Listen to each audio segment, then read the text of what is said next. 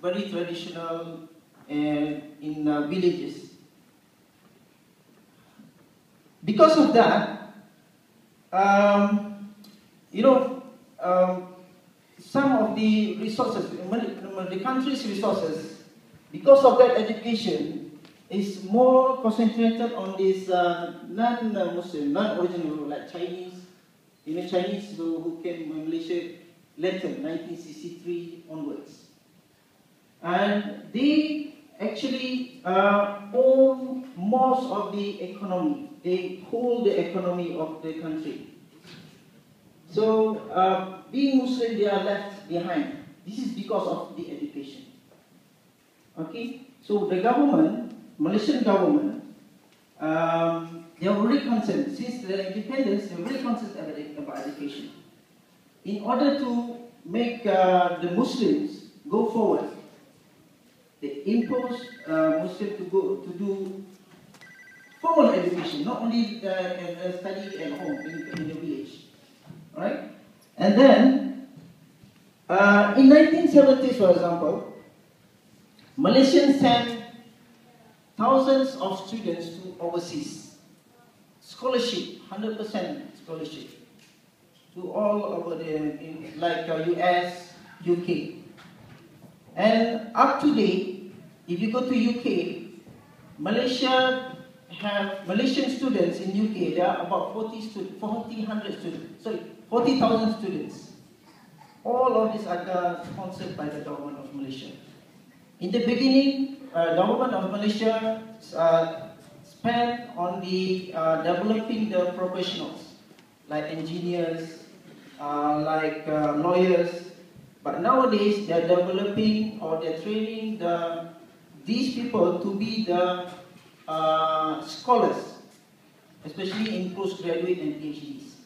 So every year, government spend a lot of money in the education. So uh, most of the budget goes to education uh, more than uh, military. In Malaysia, education budget is more than military. So you see this uh, uh, development or this uh, importance. That's why I will put more budget on it. What I want to tell you here is that, you know, with the budget, so the, the education in Malaysia developed very, very, very uh, rapidly. And now, because of that demand, uh, Malaysians uh, would like to have, uh, especially Muslims, they want to go to uh, formal education, but they uh, don't want to leave their uh, Islamic education. So the government has developed what they call it integrated schools, whereby they combine secular and also Islamic education.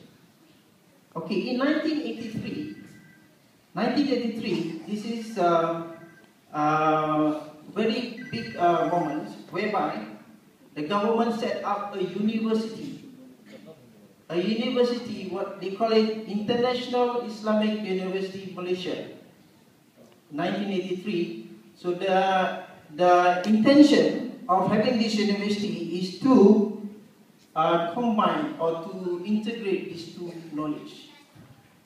So with that now, if you go to this university, you learn psychology in Islamic way. You learn law Islamic way. You learn LLB law, um, uh, what do you call it, uh, civil law, and also learn Sharia.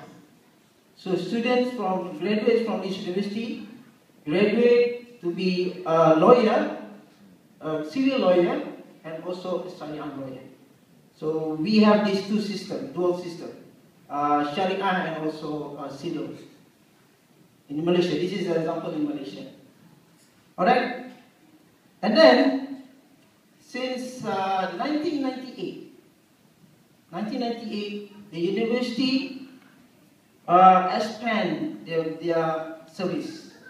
Then they established this, what they call it, International Islamic School Malaysia. This International Islamic School Malaysia, this is the one that uh, we come from. Okay? So I have been there since 2000 uh, Mr. Baharudin since the, since the beginning of the setup, which is uh, 1998. So I, now I would like to